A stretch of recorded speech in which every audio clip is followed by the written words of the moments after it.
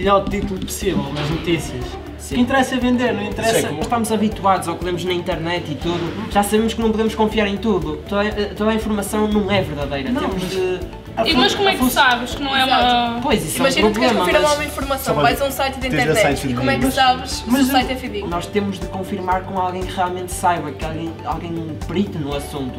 Sim, o problema é que às vezes não nos damos ao trabalho e apenas damos e convencemos-nos que aquilo é verdade. Na Wikipedia, por exemplo, qualquer um pode pôr o que quiser lá. Vai- Vais lá a uma página e escreves Sim, o que sim. quiseres. E Sim. isso também é falso, muitas Pois. vezes. E às Mas é que não vezes, devemos acreditar em tudo o que está tipo, na net. vocês já pensaram que vocês conseguem criar um site, criar uma notícia e iludir várias pessoas sobre essa notícia que até pode ser um escândalo? Exato. Se formos a ver, nem é verdade. Algumas fake news estão mesmo muito bem disfarçadas Exato. e isso é o problema de hoje em dia.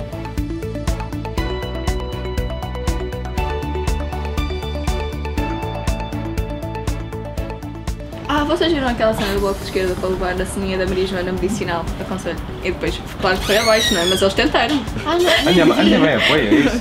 A minha, a minha mãe. Eu, eu- eu também. Eu nem sequer tenho a opinião. Adolescentes até aos 24 agora. Vocês viram Ah, essa pois notícia? é, pois é, eu Ah, também por vi amor de essa Deus. notícia. Por amor de Deus, daqui a bocado estamos com filhos, ainda somos nós as Ah, mas eu adolescentes. entendo, Isso é bué agora os estudos... Sim, prolonga mais, mais a, tua vida fértil Ok, isso é não mesmo- vai é- aumentar só porque dizem É a mesmo, é vida. mesmo verdade. Pergunta tipo onde é que viste isso? Eu vi na SIC. Eu também. também, Maria. Não, a pergunta é que diferença é que isso faz? Yeah, que diferença é que isso faz? Ainda não percebi qual é o que é que implica. é que. Ah, deve ser tipo. Não podes conduzir até lá. Yeah, é- era isso. Não, não, mas tipo. Tu, tu na, América, na América podes conduzir tipo aos 16 e, e lá. Mas é capaz de mudar.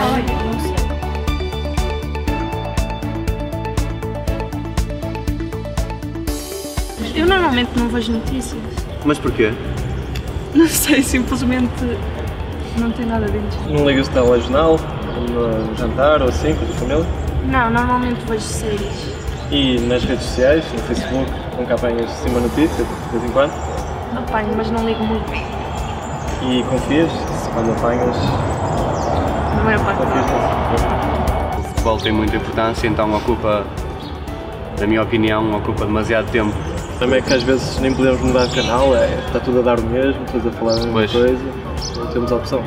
Vocês também veem nas redes sociais, veem notícias às vezes. Sim, mas essas são um bocado desconfiar, né? Desde a, a partir do momento em que vemos que uma celebridade morreu e essa celebridade está a, a publicar essa notícia também. Diz-se hoje que as fake news são uma ameaça à democracia. A literacia para os média pode ser uma forma de resgatar a democracia através daquilo que pode ser o seu poder maior. Cidadãos críticos e exigentes, bem preparados e bem informados. Os jovens têm hoje uma panóplia grande de meios para se informarem sobre o que se passa no mundo. Contudo, eh, alguns estudos têm mostrado que eles se informam sobretudo a partir das redes sociais eh, e de uma forma muito superficial. Mas os jovens não são consumidores amorfos de informação. Eles são capazes de desenvolver capacidades de análise crítica, eh, de reflexão, eh, quando são dadas oportunidades para refletirem e debaterem essa matéria. Eh, Dizer à escola, dizer aos professores, dizer aos professores bibliotecários que abram a escola ao mundo não é dar-lhes uma tarefa mais é dizer-lhes que preparem jovens eh, para lidarem com o mundo em que vivem, para serem cidadãos mais críticos, mais exigentes relativamente à, à informação que consomem, mas também em relação ao que os média lhes dão a conhecer sobre esse mundo. Conhecer e compreender a diversidade do mundo é ajudá-los também a compreender melhor eh, a, a sua realidade, é ajudá-los a serem mais tolerantes, é ajudá-los a aceitarem melhor os outros. Competências hoje essenciais no mundo em que, em que vivemos. Estamos na Escola Secundária Carlos Amarante, em Braga. Foi uma das escolas que escolhemos para realizar este projeto Transliteracy. Trabalhamos hoje com uma turma de 12º ano, com jovens de 17 e 18 anos. Muito bom dia a todos. Hoje vamos ter uma aula diferente, uma aula que vai, vai uh, pôr-vos a, a, pensar, a trabalhar e a pensar e a refletir sobre uma coisa que hoje é muito importante e que tem a ver com a importância dos média, em particular na vida dos jovens. Uh, a importância passa pela necessidade de nós filtrarmos, sabermos filtrar a nossa informação. Portanto, urge que saibamos dar uh, instrumentos aos jovens para que eles saibam exatamente distinguir aquilo que é falso que é verdadeiro. E eu eh, ontem eh, vi uma notícia na, uh, num dos jornais, no Jornal Público, que falava exatamente da questão das notícias falsas e o nosso Ministro da, dos Negócios Estrangeiros escreveu um texto muito interessante que vos aconselho a ler, que tem como título Das fake news à superioridade dos intelectuais e, uh, no fundo, está como uma receita, entre aspas, uh, como nós lutarmos contra o populismo, aquelas notícias que muitas vezes são lançadas com intuito de obter, obter leitores, obter cliques, obter algum benefício, seja político, económico. Vamos trabalhar então, como disse a vossa professora, neste, nesta questão de, das notícias verdadeiras e das notícias falsas que está tanto em voga nos nossos dias. Bom trabalho para todos, então. Formamos quatro grupos com quatro atividades diferentes uh, para que pudessem olhar para uh, fake news, para que pudessem olhar para informação e escolherem fontes de informação. Portanto, pegam nos post-its que têm aí, vocês vão completar estas frases, ok?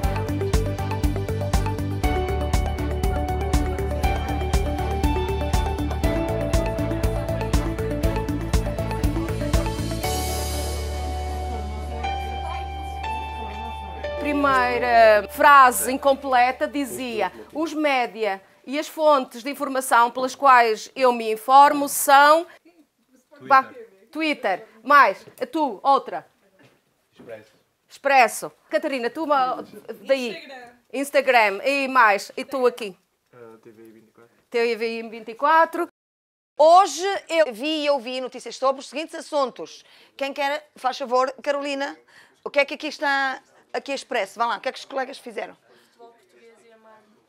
O futebol português e a má arbitragem. Uh, ai, sobre a morte de Sylvester Stallone, por causa eu ouvi essa notícia, que é uma notícia falsa, obviamente. Já verificamos aqui, pelas vossas respostas, que é necessário termos um olhar crítico quando lemos na web porque o papel normalmente é filtrado e, portanto, mas na web temos de ter muito cuidado e a questão do Stallone levanta uh, e introduz esta atividade. É isso que nós vamos agora trabalhar. Cada grupo está a trabalhar coisas diferentes a propósito das notícias falsas. Vocês vão ter que fazer a parte da análise. Depois têm mais 30 minutos para fazerem a produção.